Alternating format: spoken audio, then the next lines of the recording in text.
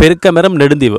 அரசோனியா தாவரவியல் பேரினத்தைச் சேர்ந்த பாரியளவிலான பெருக்க மரமானது ஆப்பிரிக்கா மற்றும் அரேபிய பிராந்தியங்களை பூர்வமாக கொண்டது. இருப்பினும் உலகின் வெப்பவலய நாடுகள் பலவற்றிலும் தற்போது காணப்படுகிறது. இலங்கையின் போத்துக்கேர் ஆட்சி செய்த காலப்பகுதியில் பதினாறாம் நூற்றாண்டு இங்கு வணிக வணிக நோக்கத்துக்காக விஜயம் செய்த அரேபியர்கள் இம்மரங்களை இலங்கையின் பல்வேறு பாகங்களிலும் நாட்டிருக்கலாம் எனவும் நம்பப்படுகிறது. மழை காலங்களில் தனது தண்டு பகுதியில் போதுமான அளவு தண்ணீரை சேகரிப்பதன் மூலம் கடும் வறட்சியிலிருந்து தன்னை பாதுகாத்து கொள்வதுடன் தனது இலைகளையும் உதிர்ந்து காணப்படுகிறது. வாசனையுள்ள ஏழு அங்குல அகலமுடைய பூக்களை அம்மரமானது தோற்றுவிக்கின்றது. மேலும் இம்மரத்தின் பழமானது உலகின் மிகவும் சத் சத்துக்கள் அதிகமாக காணப்படும் உணவுகளில் ஒன்றாகவும் கருதப்படுகிறது. அந்த பிறக்கு மரத்தை தான் நாங்கள் இங்கே பார்க்கின்றோம்.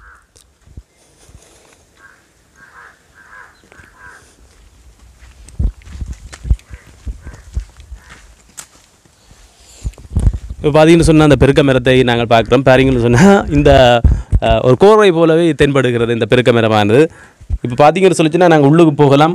பயமாக கிடக்கு. என்ன? உள்ளுக்கு போக ஓகே. இது வீடு அமைஞ்சே நாங்கள் இருக்கலாம் போல இருக்கு. என்ன? அப்படி ஒரு சற்று விசித்திரமாக அமைந்திருக்கிறது. அதாவது ஆப்பிரிக்கா நாட்டைச் சேர்ந்த இந்த மரமானது இலங்கையின் அதிலும் நெடுந்தீவிலே கொண்டு வரப்பட்டிருக்கிறது. மிகவும் ஒரு பலம் வாய்ந்தது இல்லையா? இதெல்லாம் இப்போ ஒரு பலம் வாய்ந்த இது பார்த்தீங்கன்னு சொல்லி சொன்னால் அங்கே வந்து இந்த மரம் அப்படியே மேலே போகுது. மிகவும் ஒரு குளிர்ச்சியாக இருக்குது இந்த மரத்துக்குள்ளே. பார்த்தீங்கன்னு சொன்னால் நல்ல குளிர்ச்சியாக இருக்குது ஒரு பதினாறாம் நூற்றாண்டு கால இந்த பெருக்க மரத்தினுடைய நீண்ட கர கால வரலாறு அப்படின்னு சொல்லலாம். இப்போவுமே வந்து நல்லா இருக்குது வந்து. பார்க்குறப்போ சரி இப்போ அந்த பெருக்க இருந்து நாங்கள் நெடுந்தீவில் பார்க்குறதுக்கு ஒரு நல்ல ஒரு வாய்ப்பு கிடைச்சிருக்குது. சுற்றுலா பயணிகள்லாம் இங்கே வந்து அதிகமாக இந்த மரத்தை பார்க்குறாங்க. இலங்கையில் எங்கேயும் இல்லை அப்படின்னு சொல்கிறாங்க இலங்கையில் எங்கேயும் இல்லை. இந்த பெருக்க மரமானது இதுவும் ஒல்லாந்தர் காலத்தினுடைய இலங்கை உலக நாடுகளுடைய வணிக ரீதியாக காணப்பட்டிருக்கக்கூடிய ஒரு சிறப்பு வாய்ந்ததாகவும் காண க- கருதப்படுகிறது. அது வணிக ரீதியாக அவர்கள் இங்கே வந்துக்க போது இந்த மரத்தை இங்கே நாட்டியிருக்கலாம் எனவும் நம்பப்படுகிறது. அவை அந்த மரத்தை நாங்கள் இப்போ பார்த்தோம். உண்மையில் சொல்லப்போனால் இதுவும் ஒரு வரலாற்று வரலாற்று ரீதியாக பேசப்படுகின்ற ஒரு நிகழ்வாகத்தான் இருக்கிறது.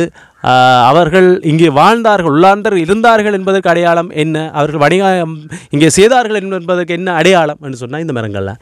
இதே சான்று இது வரலாற்று சான்று. ஆகவே இந்த வரலாற்று சான்றுகளை அஹ், புலம்பெயர் ஆக்களாக இருந்தால் புலம்பெயர் சப ச மக்களாக இருந்தாலும் சரி இலங்கையில் இருக்கக்கூடிய பல்வேறு மக்களாக இருந்தாலும் நீங்கள் கட்டாயமாக நெடுந்தீவுக்கு வந்து பாருங்கள் இந்த இடங்களை. உண்மையில் இந்த மரத்தை பாருங்கள் எந்த அளவுக்கு ஒரு சுற்று பெரிய அளவில் இருக்குது பாருங்கள் இந்த அகலம் அந்த மரத்தினுடைய அகலத்தை உள்ளூர் கோரை போன்று இருக்கிறது வந்து மிகவும் ஒரு பலம் வாய்ந்த மரம் என்று சொல்லலாம். இந்த பெருக்க மரம் ஒரு பலம் வாய்ந்த பெருக்க மரம்.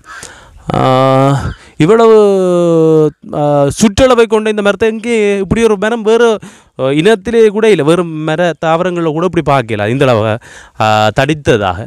பாருங்கள் ஒரு வீடு போல காட்சியளிக்கிறது அந்த வீட்டிற்கு எப்படி இருக்குமோ அதே மாதிரி தான் நாங்கள் உள்ளே பார்த்தோம்.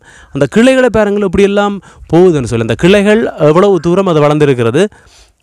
மிகவும் செழித்து பாருங்கள் அந்த நீர் இதில் கூட சொல்ல போனால் ஒரு அதிக வெப்பம் நிலவுகின்ற ஒரு சூழலில் இந்த மரம் உழவுக்கு செழித்து வளர்கிறதுன்னு சொன்னால் அந்தளவு தூரம் இது ஒரு பலம் வாய்ந்த அடித்தளம். அதாவது இந்த வேரை பார்த்தீங்கன்னு சொன்னால் நினைக்கல எத்தனையோ கிலோமீட்டருக்கு அங்கே போகும் போலே அங்கே அந்த அளவுக்கு அந்த நீண்டு கொண்டு போகுது. அந்த பேருங்க அந்த வேப் அந்த வேர்கள். வேர் கூட பலம் வாய்ந்தது. இங்கால பார்க்குற போது வேர் கூட அவ்வளோ பலம் வாய்ந்ததாக இருக்குது. இப்போ அந்த வீடியோ காட்சியோடு நாங்கள் காணக்கூடியதாக இருக்கிறது. சுற்றுலா பயணிகள் இருக்க வந்து இருக்கிறது கூட அமர்வது கூட இடங்கள் இருக்கிறது வந்து பாருங்கள். அந்த வந்து இருந்து பார்த்துட்டு போகலாம். அது ஓய்வை கழிவதற்கான ஒரு இடமாகவும் இருக்கிறது.